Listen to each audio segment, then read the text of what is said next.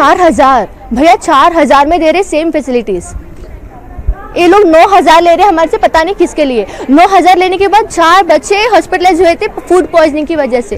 खबर आ रही है कि हैदराबाद का टिस का कैंपस बंद कर दिया गया है। Tata Institute of Social Sciences के छात्र पिछले कई दिनों से वहाँ हॉस्टल और मेस की फ़ीस बढ़ाए जाने के खिलाफ विरोध कर रहे थे। तो आज इसे बंद कर दिया गया है अनिश्चितकाल के लिए और मीडिया के ज़रिए भले आपको खबरें आप तक नहीं पहुँच पाती हों, लेकिन इस वक्त देश के कई संस्थानों में मेडिकल से लेकर सामान्य विश्वविद्यालयों में फ़ीस वृद्धि के खिलाफ आंदोलन चल रहे हैं। तो अगर हमें हॉस्टल में कभी कोई तकलीफ़ भी जाती है, हमें पता नहीं कि हम पहले, सबसे पहला शख्स कौन सा होना चाहिए, जिसको हम जाके रिपोर्ट करें। दूसरी बात हॉस्टल में आज के दिन में जो सबसे बड़ी तकलीफ़ हो रही है, वो हो रही है खाने पीने की।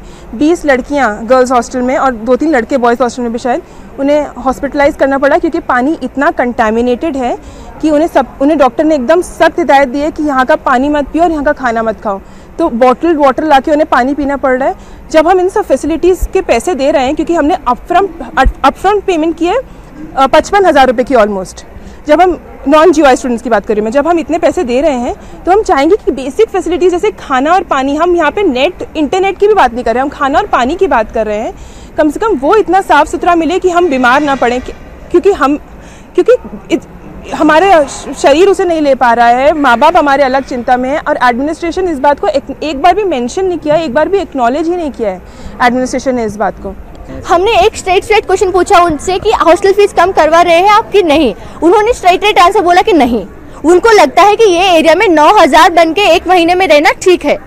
उनको लगता है ये ये this is fine to pay nine thousand in this area इतने लोग यहाँ पे, इतने लोग यहाँ पे बैठ के प्रोटेस्ट कर रहे हैं कि हम हम नहीं पे कर सकते। मतलब वो उनके दिमाग में जा ही नहीं रहा है।